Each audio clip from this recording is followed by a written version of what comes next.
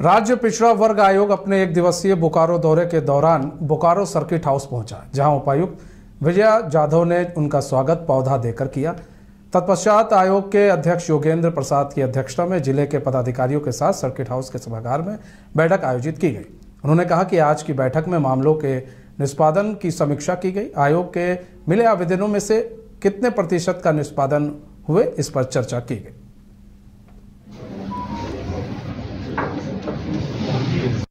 आज आयोग के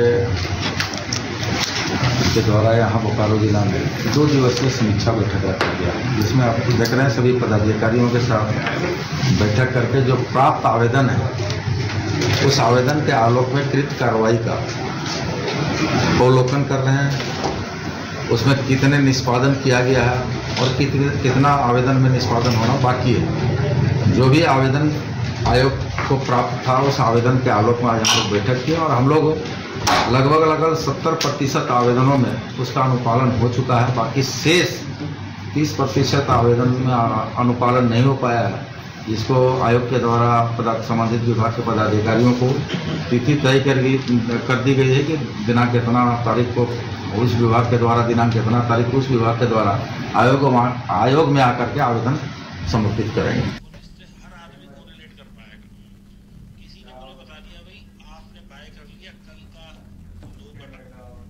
धनबाद पुलिस को मिली गुप्त सूचना के आधार पर बलियापुर से झरिया की ओर आ रही पिकअप वैन से करीब 9 केजी गांजा बरामद किया गया।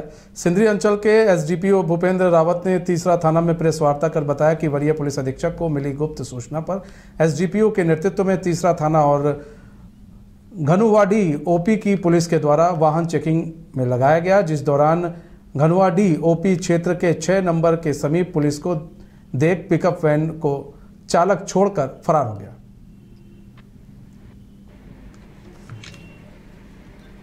करके ड्राइवर जो है चेकिंग स्थल से पहले ही गाड़ी को रोक करके भागने में सफल हुआ। पुलिस के द्वारा पीछा किया गया, लेकिन माइंस एरिया होने की वजह से पकड़ा नहीं गया।